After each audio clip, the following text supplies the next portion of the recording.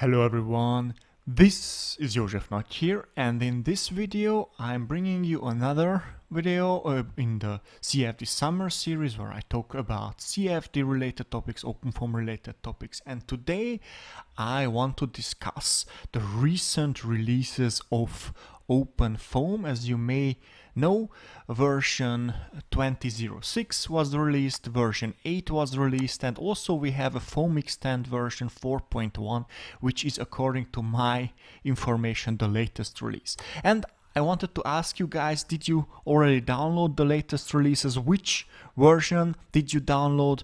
2006, 8 or Foam Extend?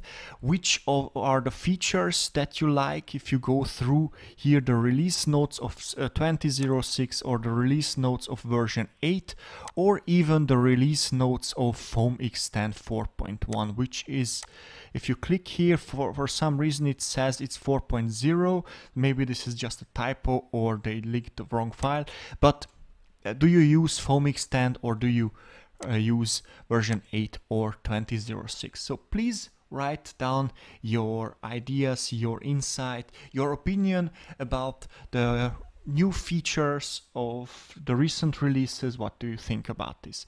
So this was what i wanted to talk at this point. I would like to encourage you to start a discussion in the comment section below. So with that i would like to thank you for watching and listening and i hope to see you next time